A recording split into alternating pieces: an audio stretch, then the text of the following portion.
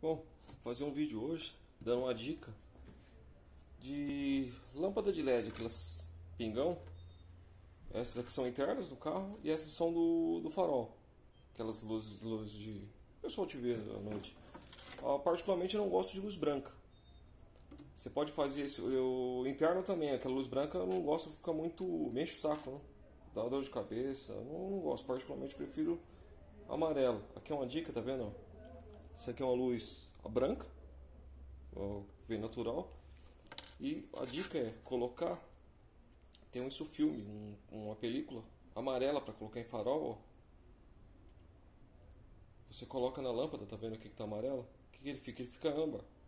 Fica um, mais próximo do original, só que forte, né? Porque de filamento é é uma luz bem fraca. Tá vendo? Ele fica, ó. Não fica aquela luz cansativa, branca.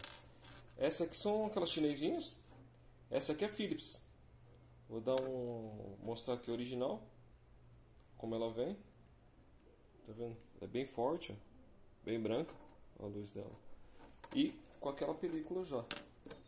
Como é que fica com a película? Tá vendo? Fica âmbar. Tá vendo? Parece o de filamento original. Então, tá vendo? Aquelas peliculazinhas de farol. Então tá a dica.